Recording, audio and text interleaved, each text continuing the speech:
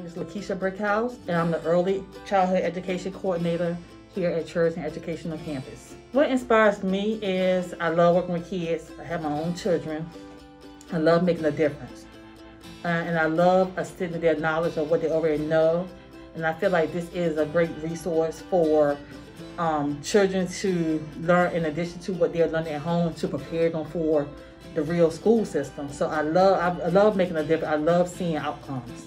Um, they might be one of the groups of kids that's forgotten about in this world.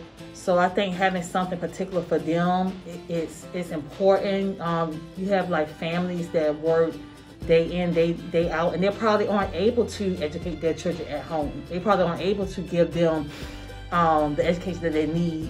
So I feel like here it's like that gap to help connect what they're not getting at home, they can get it here.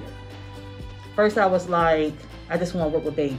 And then as I started working with babies, hmm, let me start working with older kids. And then I just started just loving to work with kids overall.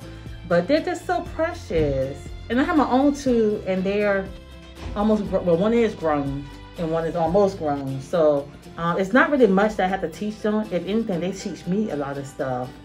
Um, I don't want to go into details about their academics, but they they they really excel in school, and I, I do provide them with the basis. Um, pick a career that you not that not that you just love, but one that could prepare you for being able to be independent. So I'm definitely teaching them teaching them to be independent, be safe, um, work on not being impulsive, you know, having fun, but you don't have to be impulsive, but definitely credit awareness and money, saving money. That's definitely what I'm working with them on.